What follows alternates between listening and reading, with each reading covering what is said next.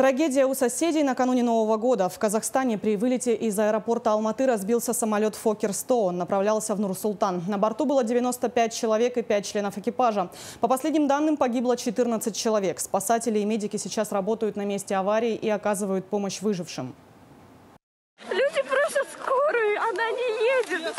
Разбито много людей, много трупов уже. Многих спасли, вытащили, вот спасатели работают.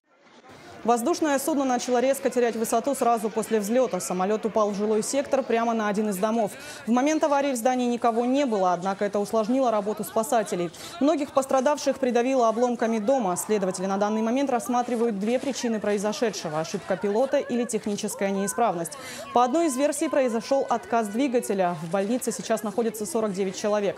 В числе выживших числится и один из пилотов судна. Известно, что граждан России на борту не было.